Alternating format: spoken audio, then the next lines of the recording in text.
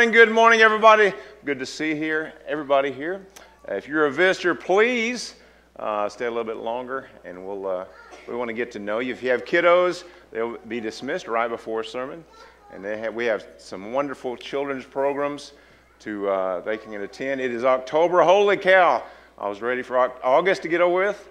We're in October. I got to see a show of hands. Who has started their Christmas shopping? Come on, come on. There we go. All right, all right. All right, very good, very good. I'll give you my list after a bit here. Let's continue singing. God sent his son, they called him Jesus. He came to love,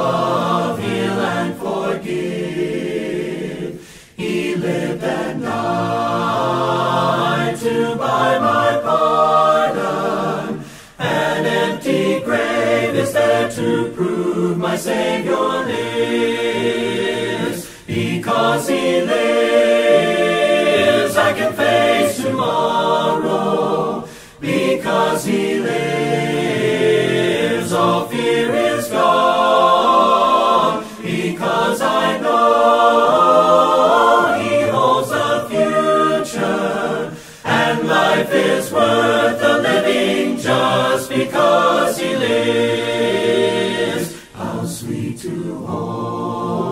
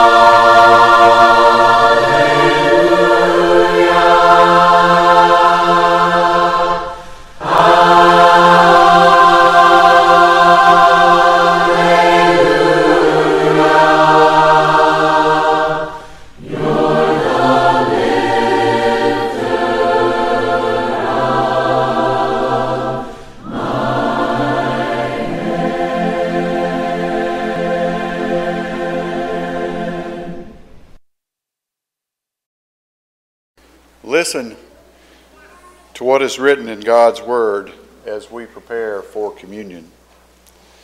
Peter is speaking of Christ in one of his letters. He committed no sin, and no deceit was found in his mouth. When they hurled their insults at him, he did not retaliate. When he suffered, he made no threats. Instead, he entrusted himself to him who judges justly.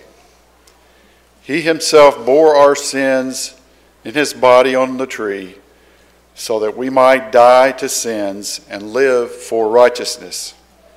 By his wounds you have been healed. For you are like sheep going astray, but now you have returned to the shepherd and overseer of your souls. Remember as you eat the bread that because of his broken body you have been healed. He has a place for you in heaven. Let's pray for the bread. Dear God, our Father, help us to remember that, that Jesus' body suffered and was broken for us, and that it was broken for our redemption. We send these words through his power. Amen.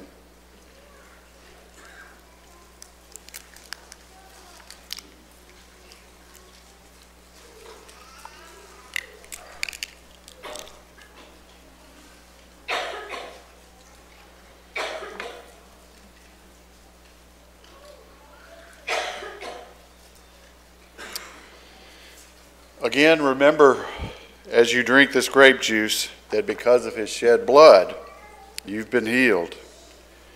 You're forgiven of your sins because of his sacrifice for you.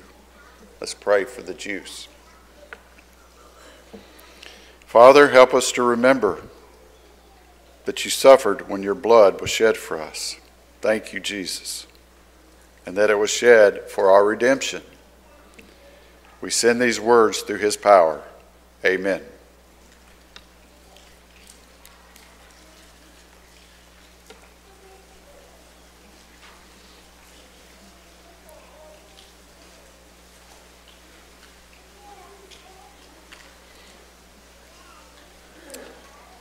Let's now focus on offerings and contributions.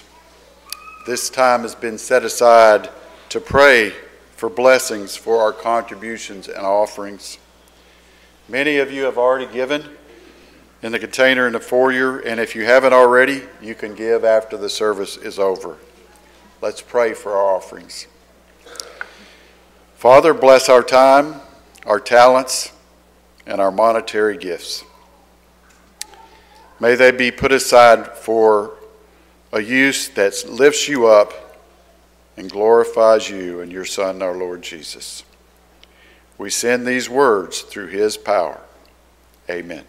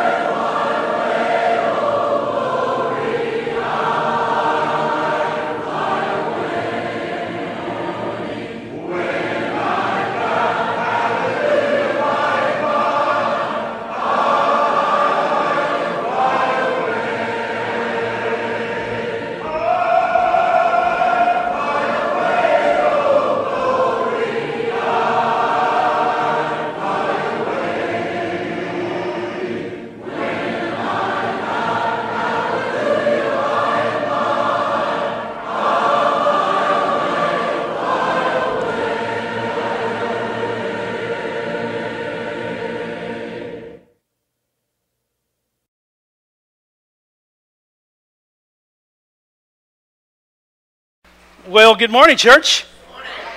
It's good to see you today. We have some visitors today and people back in from college. So we're excited about seeing them. If you're visiting today, thank you so much for being with us.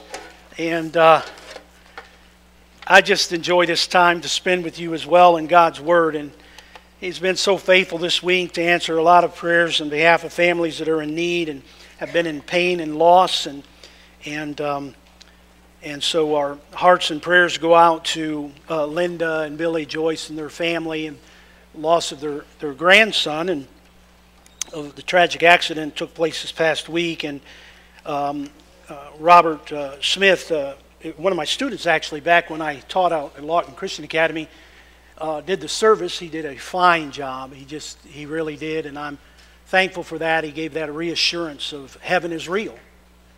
And it's a place that God has prepared for those that have put their trust in Him. And our prayer here, of course, is always the same. It's just that you've put your trust in Jesus Christ. He's the way, the truth, and life, and no one cometh to the Father except through Him. And so, uh, if I can get an amen on that, I'll get started. If not, I'll just keep on going. All righty. Few of us can say, like uh, Will Rogers said years ago, he said, I never met a man I didn't like. Um, I think Will Rogers never met some people that I've met in my life. I don't know about you. I don't know that he would have said that. But yet, what I find out is usually the people that I don't like, they don't like me much either. You ever notice that? Well, if you don't like me, I don't like you either. We kind of go through that. The Bible never assumes that you will get through life without making enemies. Never does. But the Bible only tells us how do we are to deal with our enemies. These are just a few. It says, Do not gloat when your enemy falls. That's in Proverbs 24. If your enemy is hungry, feed him in Romans chapter 12. And love your enemies and pray for those who persecute you. Matthew chapter 5 are just a few of those verses that I sometimes wish they weren't in there, but they're there in plain sight. And they're for me to deal with, not for God to deal with. They're for us. And yet we struggle with them. This message is an old message. It's from way back when, whatever I, you know, a throwback message, if you will. A good friend of mine, who I were visiting a couple of weeks ago, actually, about different things, and he had brought up this particular story. And he said it was one of his favorites or at the time. And it's, so it's one of my favorite stories this week. And I want to share that with you. And it comes out of the Old Testament, it comes out of the book of Second Kings. And so we're going to see what God has for us in all of this as we work on our lives and opening in our eyes to what God would have us to see. It is a familiar story. If you are, uh, have been in church anywhere, probably you've heard this story, perhaps. If you haven't, it's an interesting read. I would encourage you to do so. The story just before it is an interesting read as well because actually this Elisha, this prophet, a prophet back in the day was just selected by God. It was God's way of selecting someone to lead his people or tell his people they were going in the right direction, going in the wrong direction, and what would come of that. And the story just before this is there's, a, uh, there's an interesting one there. And a gentleman loses the axe head. You know, it's steel and it's metal or whatever, and it goes to the, he's lost it, but he's borrowed he's, it's a borrowed axe. And Elijah says, What's the problem? And he says, uh, It's a borrowed axe, and I, I've lost it. And Elijah prays, and you, you, and, you and I both would agree that steel can't float. Wouldn't you?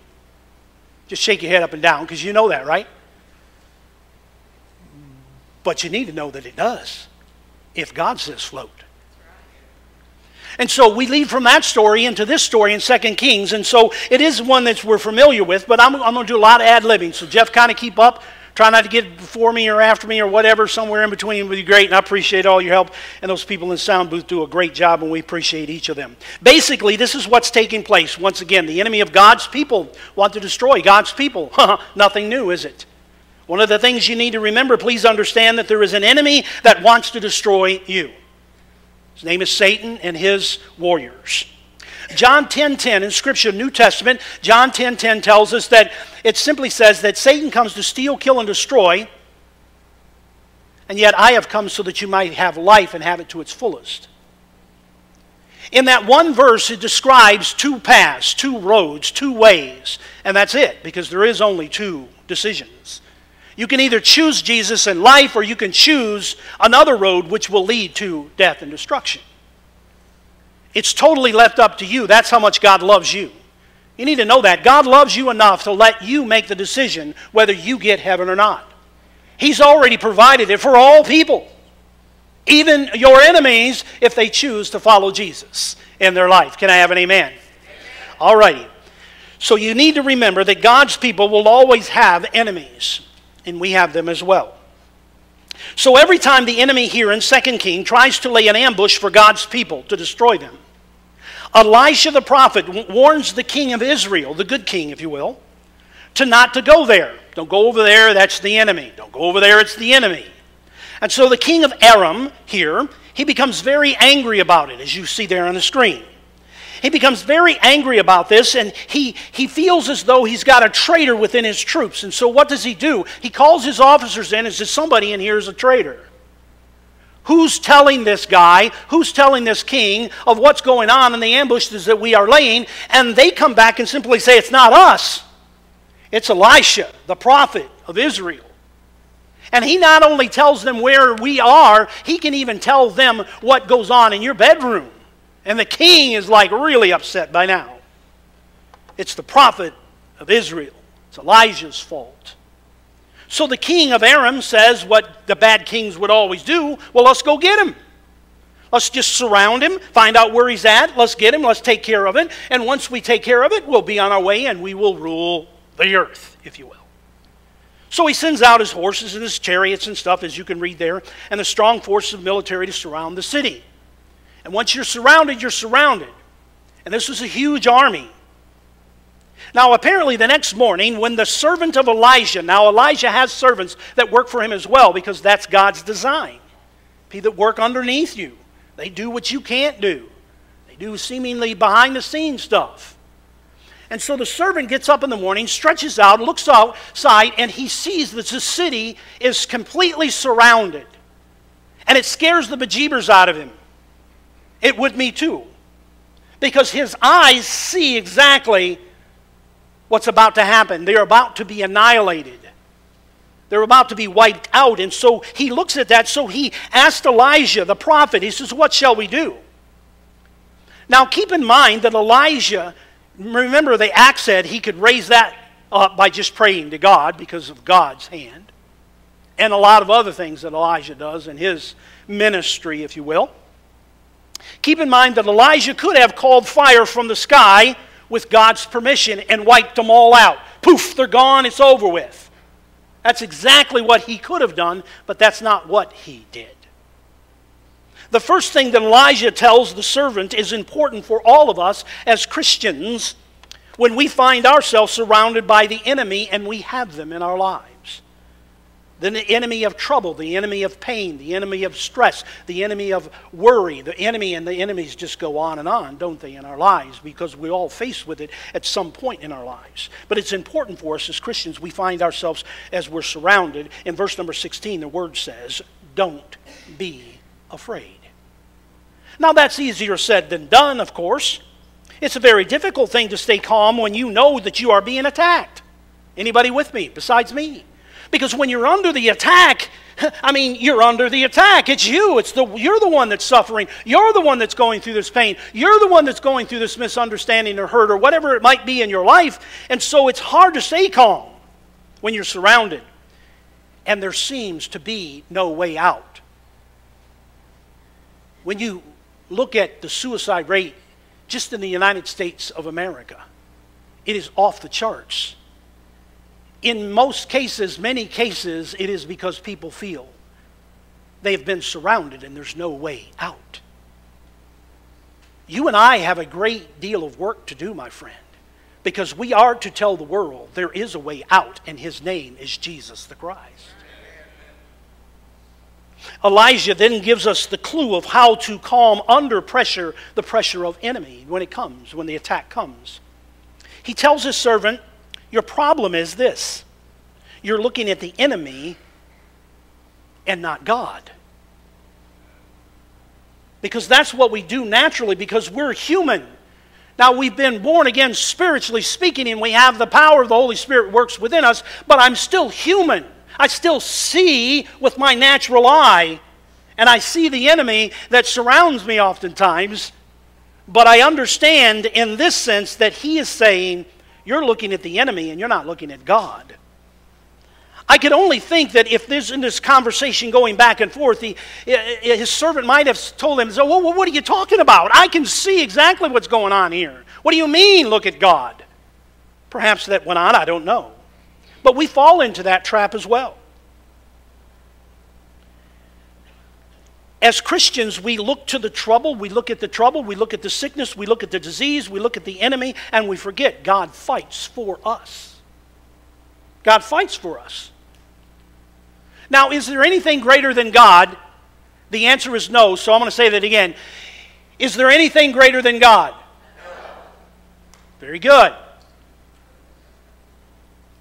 So then, when the enemy comes in with a stronghold, when the enemy comes in and its attack on you, who do you turn to? Really?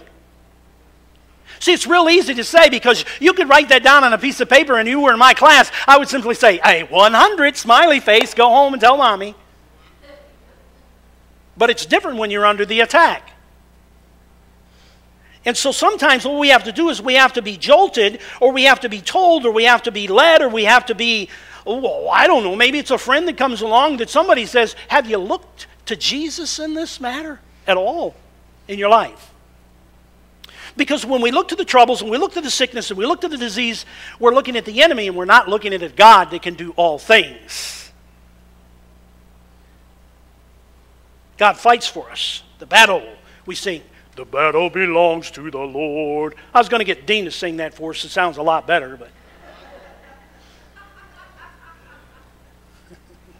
Tennessee Ernie Ford out there, but anyway. Um, First Samuel teaches that. Teaches the battle belongs to the Lord. And so if the battle is the Lord's, I need to turn to the Lord. Lord, what are we going to do here? That's what the servant actually does. The Lord, I believe, always wants to show his people. Watch this now. I believe that the Lord always wants to show his people, and I are one, Marvin Phillips said. He always wants to show his people in every generation that he will fight for them if they are willing to stand with him. That, that's all. He's just wanting us to stand with him. And the way that he sees that we stand with him is we stand on the truth of God's word. That when the world tells you that a boy can be a boy, a girl, and a girl can be a boy, we say the truth of God's word is true. A man is a man and a woman is a woman, period, bottom line. That we stand for the truth. Well, I don't know. You know, he's a little outdated. He's, he did that a long time ago. He may have changed his mind. God has not changed his mind. And I praise God that he hasn't changed his mind. But you see how it can get twisted. And all it is is to get the next generation to believe, well, that's okay too. And that's probably all right. And then acceptance becomes a belief, and the belief becomes an error. And then we have lost. We've lost. But I believe that the Lord, all He calls for us to do is to, is to stand because He will fight for us. It's a big mistake for anyone to attempt to fight battle without God. But you can. And sometimes you win that battle. Sometimes. Sometimes you win the battle on your own. You go, I'm going to push through this baby, and I'm just going to pull up my shoestrings or bootstraps or whatever that quote is, and, and I'm just going to get through this one because it's all, I can do it, I can do it, I can do it, I think I can, I think I can, I think I can, and you do it. Good for you. But in most cases, you won't. And you'll be damaged and you'll be hurt because remember, the thief comes to steal, kill, and destroy. So there's a difference there. Elijah's clue for us is don't be afraid, the prophet answered. Those who are with us, watch this, those who are with us are more than those who are with him. And I think the servant's going, duh, can you not see what I see? And Elijah's saying, Can you not see what I see? Mm. No matter how much you measure, oh, this is good. No matter how much you measure the enemy that's against you. No matter its size, its, its strength, its height, its, its pa- no matter how you measure that enemy that's against you, always remember that it always comes in second place compared to God. Always. Always. There's always, they always come in second place. And the, Psalms, uh, uh, the psalmist here writes, Among the gods there is none like you. We sing the song. Jeremiah says the same. There is none like you. My friend, there is none like our God. All other gods are little g gods. Ours is a big G God, and He can do all things. And I can do all things through Christ who strengthens me because now He lives within me. Give me an amen. Now, in verse 17, Elijah prayed. Oh, imagine that. He prayed.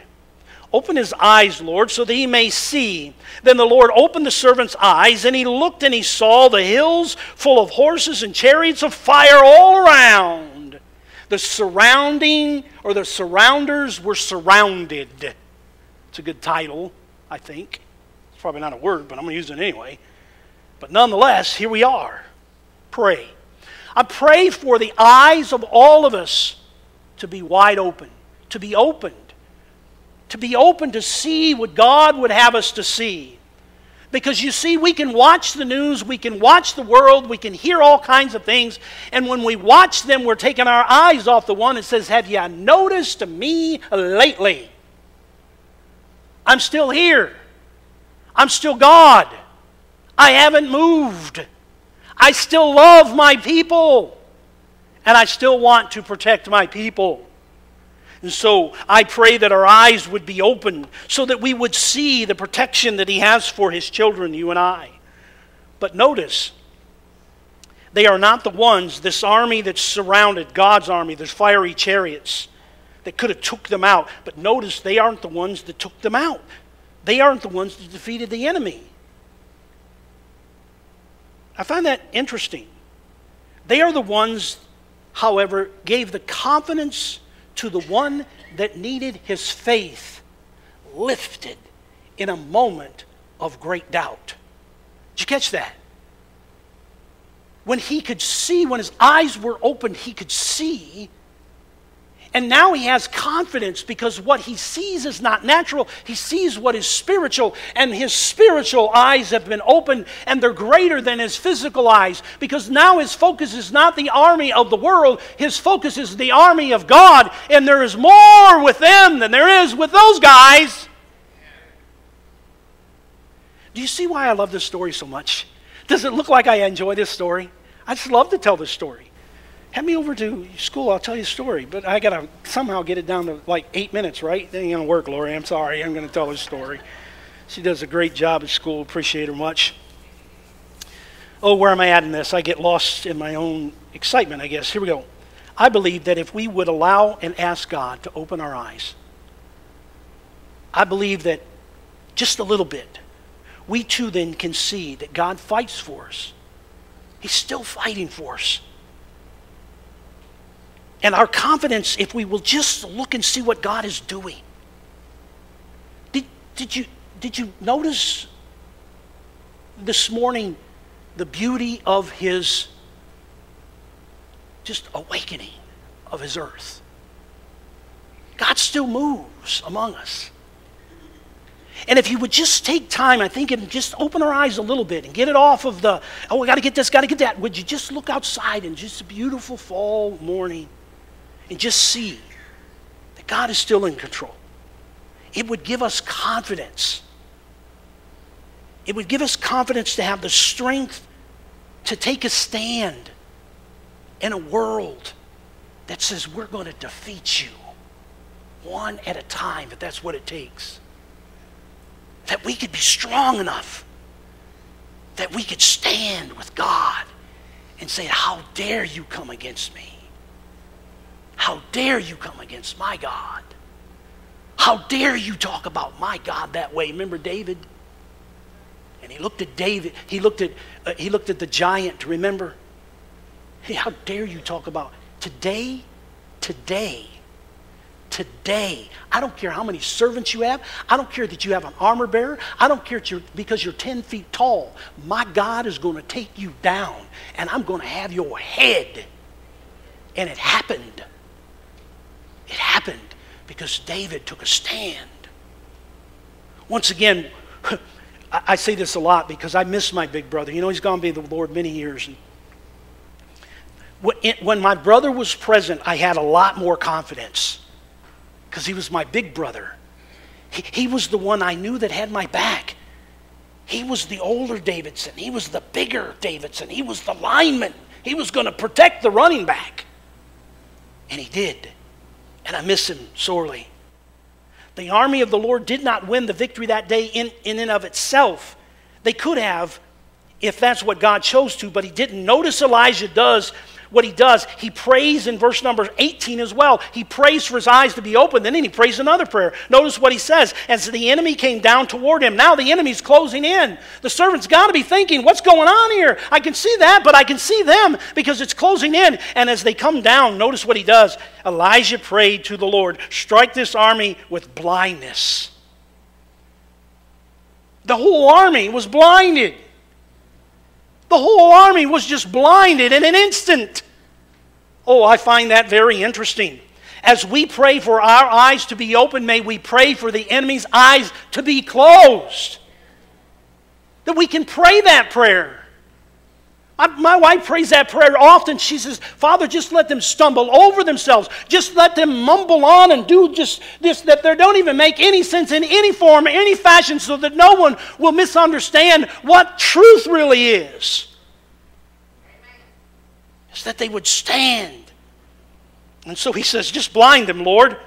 Just go ahead and do that. And he prayed to God, and the enemy was blinded. I'm not sure about his servant at this point, but I think his servant at this point's got to be going, oh. How about you? That's me. Oh. I couldn't. Hey, could you imagine the old army is blinded? I can't see Joe. Where you at? Hey Sam, where you at? I can't see nothing. Where you at? Hey, come on. I'm walking in circles. It's got to be hilarious, if nothing else. Kinda, when you read it the way I do, anyway. But anyway, see what's taking place. I'm standing there and I just got to believe this guy's just going, what's going on? But watch. This is what takes place in verse number 19 and following. I love this part of the story as well. So Elisha walks up to him. They can't see him. Hello, gentlemen. Where are you headed? Oh, we're after this guy called Elisha. Oh, really? Yeah, he's around here somewhere. Oh, you guys are on the wrong road. Just follow me and I'll show you where he is. I'll just gladly take you. You see, God, tell me God doesn't have a sense of humor. So here's all these blind guys following this guy, and they're saying, hey, we can't see anything, but this guy's a really good guy. He's going to take us to him, and maybe we can see later on, and we'll wipe him out. And I just believe that Elijah has to be smiling, at least smiling with what's going on. I would be cracking up. Maybe not so much of being this happening, but just to see these guys that are there. So I'm trying to produce something here. I want to tell you today that when you see the power of God defeating your enemy, I believe it will bring you great joy in your life. Some of you have seen God move in your life in powerful ways, and it has brought you joy. But for some reason along the line, you forgot about that joy. Somewhere along the line, you forgot about that day when you were really full of the joy of the Lord. I want to remind you that God is the same yesterday, today, and forevermore. Give me an amen. All righty. If you're already ready for some more, give me an amen. amen. All right. Three of you are. Let's go. As they march in, now this is what's happening. So they march into the city of Samaria. That's, that's God's people. And they march right into the city courts, if you will. And here they come. And I got to be thinking that all these people that are God's people, they got to be a little bit afraid, of course, I would think. They don't really realize they're blind, but eventually I'm sure they do. And they bring, he brings them into the middle of the court, if you will. And Elijah brings them in, in the middle of the city, and then he prays another prayer. What does that tell you about Elisha? He is a man of prayer. Prayer connects us with God. It is actually our umbilical cord to God. We need what God provides, and when we pray, He nourishes us like the mother does. The mother does to the child that she's about to bear. Now, so he says, he prays and he says, Open their eyes. And all the king of Israel, this is the good king now, all the king of Israel can say basically is Elijah, do you want us to kill them now? And here is a statement that is actually, you would definitely not get in the military higher level of making decisions if you made this decision. No, no, no Brett, no, no general's going to give this order, so watch what he does. He comes into the picture here and he says, No. He said, I tell you what I want you to do. I think what we should do is we should prepare a great meal for them. Not a Last Supper, but a great meal for them. And then I think we need to send them home. Who, who verse 22 and following, but who does that? Nobody that I know of. Nobody. But he does. I'm going to be honest with you. If I'm that guy right there, I'm just saying, sick them. They want to defeat us, we'll defeat them, and we'll have no more problem out there. Let's just get it over with once and for all. God's with us. It's got to be, He's brought them here. Let's just take them out. That's what I think. But I know what Scripture says. Remember what I gave you earlier on. Let me give you a few more, or, yeah, segment here. Jesus, mind you, is the one that's saying this, so it's red letter edition if you look at it. And it says this, but you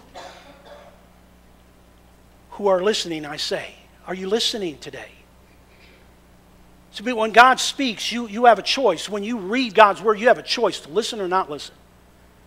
And, and many times I'm not listening, I'm just reading. He says, Love your enemies and do good to those who hate you.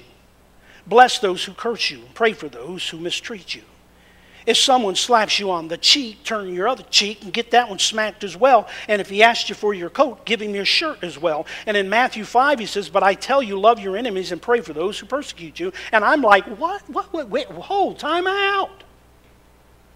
Does anybody in this room struggle with that besides me? Man, we got a lot of saints in this room, and I am so thankful for you. I'm just bearing it all. Might as well take this vest off. There's no S on my chest. Here we go. I struggle with that. Now, don't get me wrong, the Bible teaches that there is a time to kill, there's a time to take the sword up. I believe that with all my heart. There is a time to kill, and there's a time to heal. So when I read over that and I look at that scripture, scripture again, and I, I find it a little I find myself a little confused. Not that Jesus said it, because I can read that Jesus said it. So I'm not confused that Jesus said these words. Where I get confused is how I accept it. Because sometimes I accept it. And when, I do, when I'm on the good side, I go, oh boy, that's really good. I did really good. That guy treated me bad and I treated him good and I did it in the name of Jesus. And I wish that was every day, but it's not every day. Is anybody with me here? I wish it was, but he's still working on me. And I believe he's still working on you as well, and I pray the case is. But I did notice something in these scriptures here. It is I noticed this one thing. It did not say it did not say that we are to become like them. You see it? This is really important in your life. It's telling us we're not to become like them. They're our enemy. They hate us. They despise us. They tell us lies. They cheat. They steal. They do all the things that we don't like. But God tells us, He's telling us, don't become like them. Don't become like them. Why does he say that? Because if we become like them, we are them. You see how it works? It's real easy for us to look with that hatred He gets so mad that hatred comes through.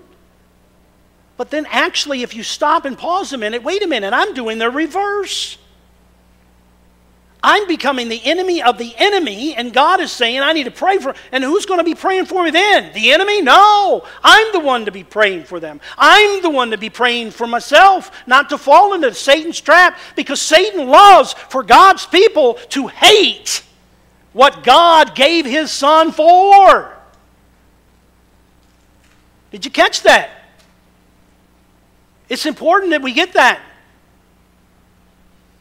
that we have to be careful in our zeal and our drive and wrongdoings that we don't become the opposite of and we become exactly like what we say we hate. Maybe I spent too much time there, but it means for me. May God give us the strength to do what is called, He has called us to do and to have the knowledge, His knowledge and His wisdom, to know when, and listen, this is important, and to know when to extend the hand or the sword, because there is a time for both. But it must be in the wisdom and the knowledge of God's doing, God's timing in our lives. And you can tell how long ago I wrote this message. And as Forrest Gump would say, that's all I got to say about that. But I'm not finished, but almost.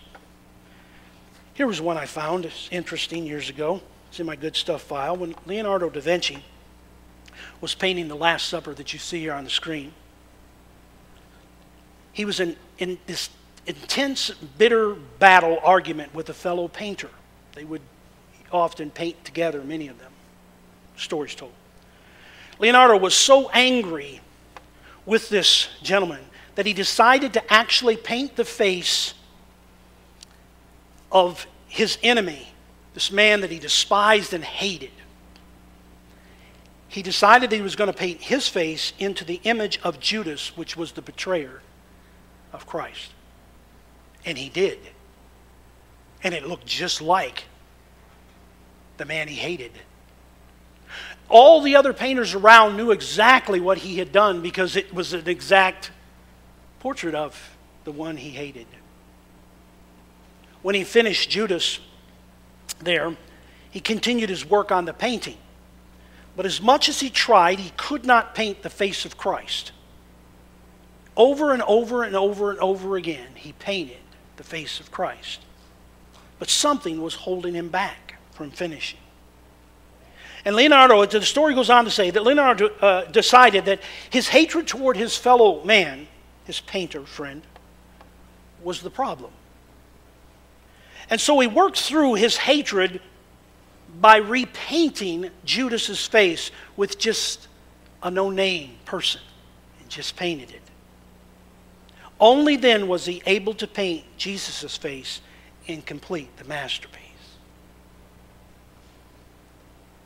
Maybe God is trying to teach me to not hate because when I hate, it actually destroys me. In Romans chapter 12, do your best to live at peace with everyone. It's to do our best. My friend, do not try to punish others. This translation says others when, you are, when they are wrong, but wait for God to punish them with his anger. It is written, I will punish those who do wrong, I will repay them, says the Lord back to our story there, the Second Kings, as we close. After they are, after they're fed and they're sent back home, it's an amazing story they have to tell. Can you imagine their journey home? Two, three days, however long it took to get back to their homeland. Of what their journey was. Man, I couldn't see nothing. Could you? Nope. Man, that, that lamb was good. They couldn't see their story that they had to tell on their way home. In verse 23, and it goes on to say that so he prepared this great feast for them and he sent them on their way. So the bands from Aram stopped raiding Israel's territory. That's all they wanted anyway. Now, I would love to tell you that the story ends there, but it actually doesn't. And I would love to tell you that the enemy never returned against Israel. Because it hadn't and it still won't today. Here's what basically took place Aram selects a new king. After their king dies out, they select a new king. There's no trouble with Israel. But the new king comes along and he thinks once again that he can outmaneuver God. Imagine that. Listen closely. There are people in our world today, always, always have been and always will be, that will be put in particular leadership positions that think that they can do what they want to when they want to. The king here may have been able to control and manipulate his people, but he would never be able to control our God. Ever. But he was about to find out that God can never be defeated. If you read the rest of the story, the, the story as it unfolds there. But keep in mind, as Christians, and this is huge in our lives, because I don't know where this lies, because I can't see into the future. I am not a prophet.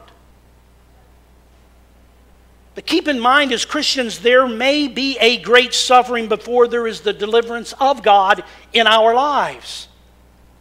I just can't tell you what that will be. But I know that God stands on his promise. I know that God will not be defeated. And if I am in Christ Jesus, even if the world takes me out of the world, nothing can separate me from my God.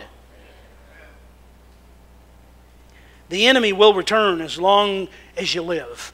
Just in Second Chronicles, if you look at that last part of the verse, go out and face them tomorrow, tomorrow, and tomorrow, and tomorrow. There will be enemies around us. However, as Christians, the more we study God's Word, the more we know of His great plan, and we grow in the likeness, His likeness, the easier it should be for us to have eyes wide open so that we would see that God fights for us, that God defends us, that God will come through for us, that God will rescue us. Have your eyes been opened today? Do you see Jesus wanting to come to your rescue? Aren't you tired of seeing the enemy? Aren't you tired of looking at the enemy? and look to what God would have you see with your eyes open. Open your eyes and look to the hills. Those who are with us are more than those that are with them. God's love is a faithful love for all generations. And if we will ask Him to open our eyes to see, to see Him, we will always see the victory. And our enemy should fade in his likeness about us. Let's pray. Father, my prayer today is for, starting with me, Father, just continue to open my eyes so that I might see you more. Open our eyes and our hearts and our minds to receive from you, Father. The world is pouring so much false things, false teachings into our lives. Help us to be able to resist it by counting on and filtering it through the Spirit that lives within us. Because, Father, you've given us the truth. The world doesn't have the truth unless they look to your word. For it is the truth, it is what sets people free. It is what gives us freedom. It is what gives us eternal life. It is what gives us hope in a lost and dying world. But help us, Father, not to hate. And forgive me when I do or even use that word, because it is a heavy one. Father, please help us not to turn and become like what we know is evil, what we know is wrong. Help us to reflect Jesus in more of what we do in a world that is lost, so that others might come to salvation through your Son, Jesus the Christ, is my prayer in his name. Amen and amen. God bless you. Thank you for you for, again for your patience this morning. If you need to respond in any way, we have cards that you can fill out. Just let one of us know. We'll be glad to take care of that. Come together as we stand and sing. Faithful love flowing down from the thorn-covered crown makes me whole, saves my soul washes whiter than snow. Faithful love calms each fear, reaches down, dries each tear, holds my hand when I can't stand on my own. Faithful love, faithful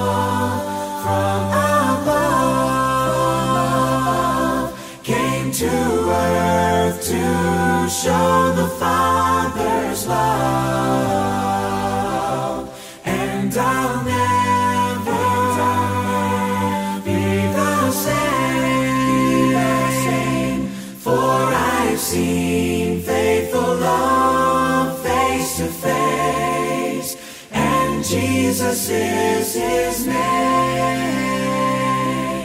Faithful love is a friend just when hope seems to end. Welcome face, sweet embrace, tender touch filled with grace. Faithful love, endless power, living flame, spirit's fire, burning bright in the night, guiding my way. Faithful love,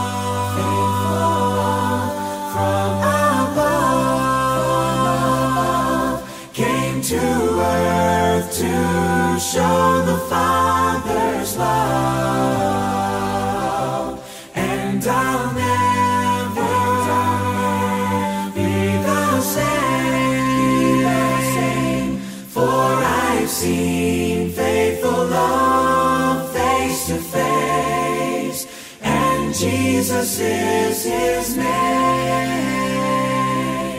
For I've seen faithful love face to face, and Jesus is His name.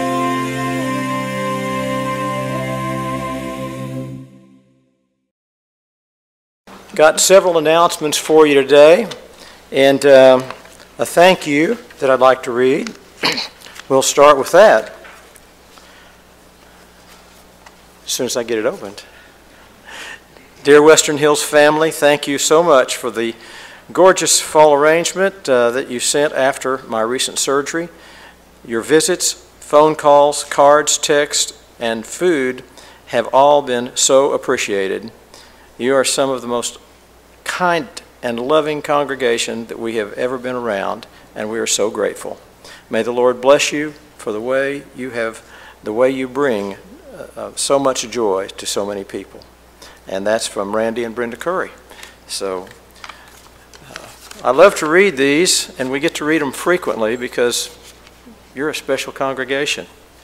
And you love each other so much, and it reflects itself daily and weekly as we all deal with the trials of life. Uh, let's see. You all have the order of worship, and it's got several announcements on the back that are important. Please take a look at these. There's three I will bring to your attention today because this is the last day to sign up for three of these things or to get involved in three of these things. This is the last day to sign up for the Youth Fall Retreat at uh, Oak Ridge Christian Camp in Anadarko. So, youth, if you're planning on doing that, you need to see Zach today and get that taken care of.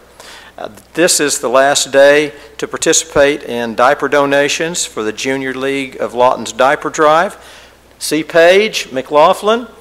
If you need any information on that, wave your hand, Paige. Zach, where are you? Well, there's Zach. Okay, I was looking in the wrong place. That hand over there. And then the last one is this is the last day to sign up for feeding the staff at Edison Elementary on October 4th. And if you would like to help participate, if you'd like to participate in that, please see Janice Croft. Now, Janice is probably not in here. I bet she's back with uh, Sunshine. But see Janice if you want to sign up and participate in, in that effort. And then the uh, last thing is I'd like for you to put the scripture up for today. And I'd just add that Harley and I did not talk to each other at all this week, and I had no idea what he would be preaching about. So uh, would you please stand and we'll do this, say this scripture together, and then we'll, we'll be, I'll have a prayer and we'll be done. Deal bountifully with your servant, that I may live and keep your word. Open my eyes that I may behold wonderful things from your law. God, as we move into this week, we pray that you would fill us with your Spirit, and God, that we might see the world with your eyes. Open our eyes to see life and all its decisions, and give us the wisdom to walk with you in all we do. In Jesus' name, amen. Have a blessed week.